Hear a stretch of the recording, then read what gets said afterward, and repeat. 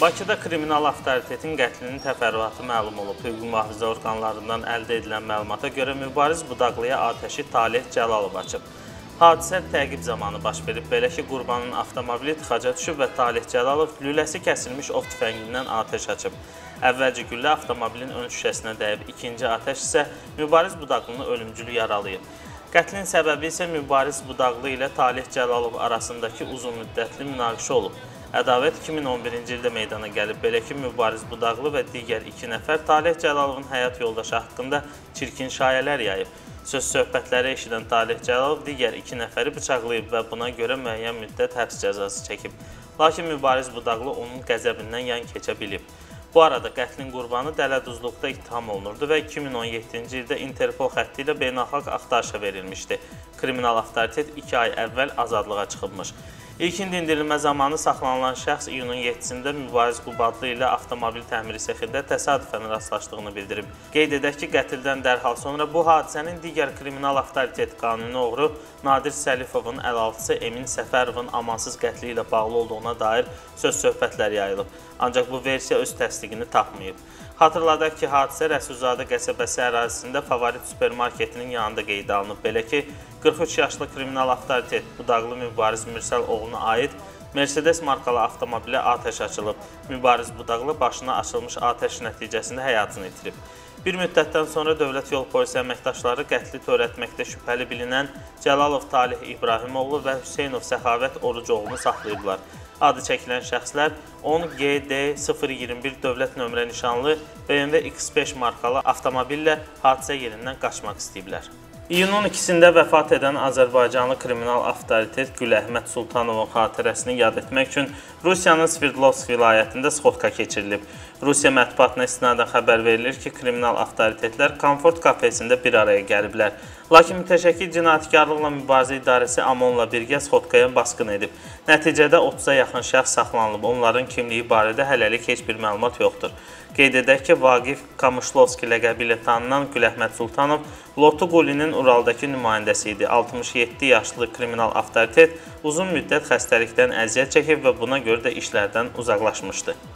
Nardaran hadisələri ilə əlaqədar mühakimə olunmuş Əbülfəz Bünyadovun səhhətinin kəskin pisləşdiyi bildirilir. Bu barədə onun həyat yoldaşı Leyla Bünyadova xəbər verib. Əbülfəz yatağa məhkum olunub, sərbəst hərəkət edə bilmir. O müalicə müəssisəsində saxlanılır və ona digər məhbuslar baxır. Əvvəlki xəstəlikləri onurğa zədəsi, hepatit C ilə yanaşı son vaxtlar bağırsaq infeksiyasından əziyyət çəkir və yemək yeyə bilmir. Biz başqa yerdə də analiz nümunələrini yoxlatdıq. Həkimlər bağırsaqda güclü infeksiya və göbələk aşkar etdilər. Bağırsaq funksiyasını itirib. O çox ağır vəziyyətdədir, deyə Leyla Bünyadova əlavə edib. Hüquq müdafiəçisi Oqtay Gülaliyev hesab edir ki, səhhətində ciddi problemlər olan Əbülfəz Bünyadov və digər siyasi məhbusların ağır durumu ilə bağlı susmaq olmaz. Rəsmi qurumlar Əbülfəz Bünyadovun səhhəti ilə bağlı məlumatlara hələ münasibət bildirməyib. Vəkil Zübeydə Sadıqova hüquqlarını müdafiə etdiyi jurnalist Şahvələt Çobanoğlunun ölkədən çıxışına qadağanın götürülməsi ilə bağlı Baş Prokurorluğa müraciət edib. Son vaxtlar bir neçə jurnalistin ölkədən çıxışına qadağanın götürülməsindən sonra vəkil Şahvələt Çobanoğlunun üzərindən də səfər qadağasının qaldırılacağını gözləyirmiş. Baş Prokurorluğun Ağır Cinayətlərə dair İstintaq İdarəsinin rəisi Eldar Əhmədov idarənin önündə səfər qadağası ilə bağlı etiraz aksiyası keçirən jurnalistlərə bildirmişdi ki, yaxın zamanlarda bütün jurnalistlərin üzərindən stoplar götürüləcək, lakin prokurorluq vəkilə cavabında müraciətin cinayət işinə əlavə ediləcəyinə və əlavə cavab veriləcəyini yazmaqla kifayətlənib. Jurnalist Şahvələt Çobanoğlu deyir ki, eyni sözlərdən və məzmundan ibarət olan yalnız tarixi fərqlənən belə məktubu əvvəllər də alıblar və heç bir əlavə məlumat verilməyib. Jurnalist hesab edir ki, bu onun ölkədən çıxışına 2014-cü ildən qoyulmuş qadağanın götürülməsindən imtina deməkdir. Jurnalistin vəkili deyir ki, hüquqi müstəvidə mübarizələrini davam etdirəcəklər. Xatırladaq ki, Şahvələt Çobanoğlu hökumətin fəaliyyətini tənqid edən yazıların müəllifidir. Səhiyyə Nazirliyinin məhkəməyə verdiyi jurnalist Teymur Kərimovun anası vəfat edib. O, onkoloji xəstəlikdən əziyyət çəkirdi. Jurnalistin anası bugün torpağa tapşırılıb.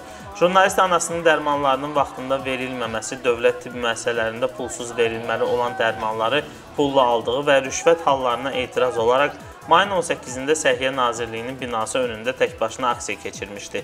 Səhiyyə Nazirliyinin yaydığı məlumatda Kərimovun anasına edilən müalicələrin pullu olması barədə iddia əsassız adlandırılmış və ona qarşı Cinayət Məcəlləsinin 147.2-ci maddəsi ilə cinayət işi qaldırılması iddiası ilə Nəsimi rayon məhkəməsinə müraciət olunmuşdu. İyunun 7-sində Bakının Nəsimi rayon məhkəməsində hakim Babək Pənahovun sədrliyi ilə Teymur Kərimova qarşı iddia üzrə hazırlıq iclası başlayıb. Hazırlıq iclası iyunun 10-da davam etdiriləcək. Jurnalist iyunun 8-də anasının ölümündən sonra Facebook səhifəsində ona alver təklif edildiyini yazıb. Stat: Mənə anamın cansız bədəninin üstündən alver təklif edirlər. Unutmayın, mən nə qədər yaralı olsam da bir o qədər möhkəməm. Sizin həbsiniz məni qorxutmur. Başqa anaların ölməməsi üçün mücadilə aparacağam. Statın sonu. Bilirsiniz nətərdir? mən bir davaya çıxmışdım, bir yola çıxmışdım. Amma çox təəssüf ki, bu davada anamı duzdum. Anam rəhmətə getdi. 1996-cı ildə Azərbaycan səhiyəsinin uzbatından qardaşımı itirdim. Bağırsaq e, partlamasından e, qardaşım itirdi həmən vaxtı. İndi isə e, bu ünvanla anam dünyadan köçdü. Və hesab edirəm ki, e, bundan sonra əgər məhkəmədən nə olacaq, nə olmayacaq, Mənim artıq itirəcək bir şeyim yox idi. Bir, bir şey qalmayıbdı. Yəni anamı itirmişəm. Mən anam üçün mücadilə aparırdım. Artıq anam da bu gün Azərbaycan səhiyyəsi öldürdü. Mən 4 aydır 4 aydır ki, yazırdım, çıxışlar eləyirdim. Ancaq çox təəssüf ki, Səhiyyə Nazirliyi bu məsələləri araşdırmaq araşdırmayaraq məni məhkəməyə verdi ki, güya mən bunlara böhtan şər atıram. Mən demişdim Azərbaycan səhiyyəsi öldürür və öldürdü. 96-cı ildə qardaşımı öldürdü, indi anamı öldürdü. Mən demişdim Azərbaycan səhiyyəsinə güvənmirəm. Güvənmirəm, güvənməyəcəm, güvənən də deyiləm. Məhkəmə də artıq nə qərar verərsə versin. Amma e, bilirsiniz, belə bir şey var. Ədalət anlayışı var. Bir vicdan anlayışı var, bir insanlıq e, anlayışı var. Mən sadəcə hakimlərin vicdan, çünki e, ləyaqət və insanlıq gözləyirəm. Bir gün onun da anası var, onun anasını da Azərbaycan səhiyyəsi bu günə qoyacaq. O birisinin də anası var, Səhiyyə Nazirliyinin e, məni məhkəməyə verən orqanın danası var, e, vəkilin danası var. Əgər o vəkildə zərrə qədər ləyaqət varsa, zərrə qədər vicdan varsa, o e, bu məsələdən e, əl çəksin, vaxt qaz versin. Nə bilim, e, yenə də mən bunu yalvarmaq üçün demirəm.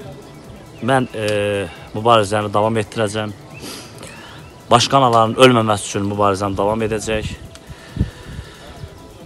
Bu günə kimi mənimlə bərabər, e, mənimlə bərabər mücadilə aparan, mənimlə bərabər e, qan aksiyalarında yaxından iştirak edən, mənimlə bərabər mənə dəstək olan bütün dostlarıma, cəhbə yoldaşlarıma, bütün e, mən istəyənlərə, e, mənim anam üçün mücadilə aparan hamısına e, çox sağ ol deyirəm, təşəkkür edirəm ailəm adından və bildirmək istəyirəm ki, e, sadəcə haqlarını halal etsinlər.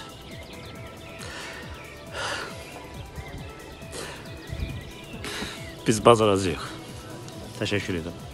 Binəqədi rayon polis idarəsinin 4-cü polis şöbəsində vəkil Orxan Kəngərlini döyən polislər işdən çıxarılıb. Bu barədə vəkil Anar Qasımlı bildirib.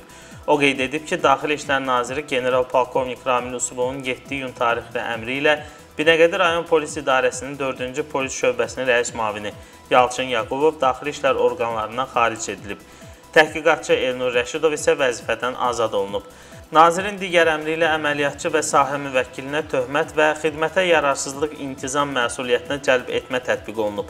Qeyd edək ki, Vəkillər Kollegiyasının üzvü Orxan Kəngərlinin Binəqədi rayon polis idarəsinin 4-cü polis şöbəsində fiziki təzyiqə məruz qalması ilə bağlı məlumat yayılmışdı. Lakin Daxili İşlər Nazirliyi məlumatın yalan olduğunu, vəkilin polis şöbəsinin normal iş rejimini pozmasına görə barəsində İnzibati Xətalar Məcəlləsinin 510-cu maddəsi ilə inzibati protokol tərtib olunaraq baxılması üçün rayon məhkəməsinə göndərildiyini açıqlamışdı.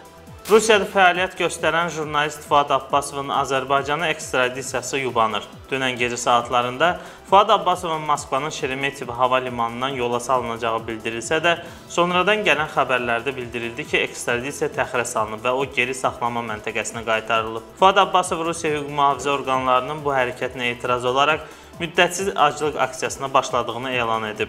Fuad Abbasovun şəxsi Facebook səhifəsində onun səsi ilə bu haqda açıqlama yayılıb.